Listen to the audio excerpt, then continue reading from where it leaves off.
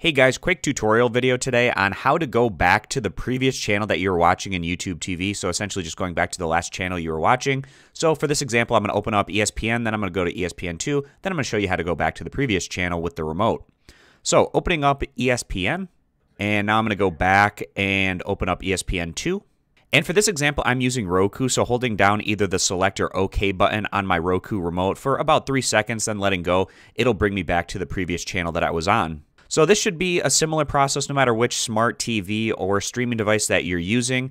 The streaming remote that you have should have a select button or an OK button, and it's usually one of the more prominent or bigger buttons on your remote. Just hold down that select or OK button for about two to three seconds, I would say, and then it'll take you back to the previous channel that you had just come from. So I hope this quick tutorial was helpful. I appreciate you guys stopping by. Consider subscribing to the YouTube channel, and I'll see you back here next time.